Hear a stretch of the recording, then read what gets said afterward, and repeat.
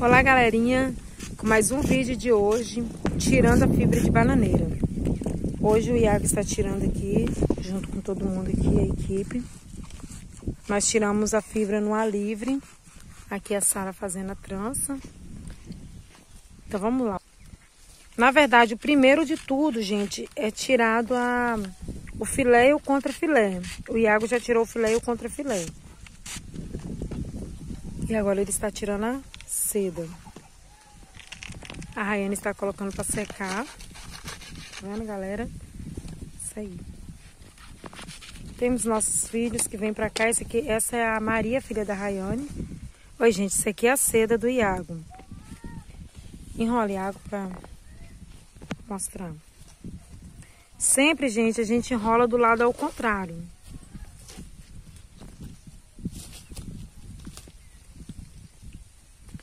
Vou mostrar aqui Derilda tirando o filé e o contra.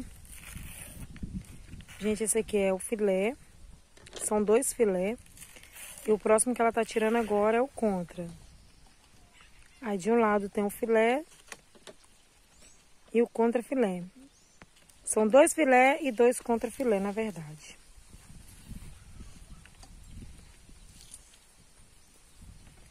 Na hora de pôr para secar, gente, tem que colocar separado. Não pode colocar junto, porque senão vocês misturam. O contrafilé, geralmente, é para a gente estar fazendo crochê. E o filé é para a gente fazer costura. Gente, olha o nosso varal, como tá ficando, cheio.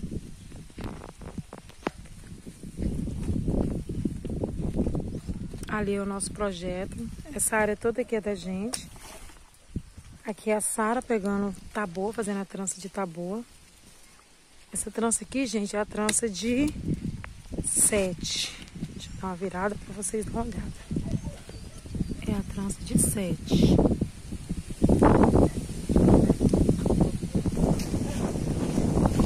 Gente, aqui venta muito. Aqui a água está tirando a renda. Depois do filé e o contra-filé da seda, vem a renda.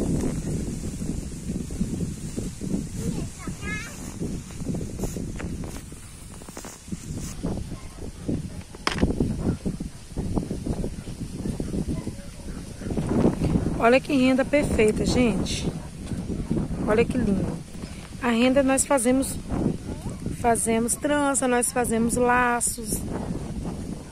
A renda é muito linda, principalmente para fazer colagem nas caixas.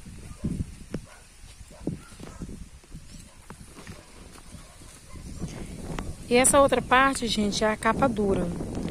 A capa dura, ele vai pegar o mocó, mostra aí, água com mocó. Alguém conhece mocó, gente? Tá vendo? Esse é o famoso mocó. É com isso aí que a gente tira a nossa fibra de bananeira. Olá, galerinha. É, hoje aqui vou mostrar para vocês o passo a passo de como se faz a trança de sete. Vem aqui mais perto. Olha, gente. Um por cima e dois por baixo. Um por cima e dois por baixo. Um por cima e dois por baixo. Um por cima e dois por baixo. Um por cima e dois por baixo. E sempre assim.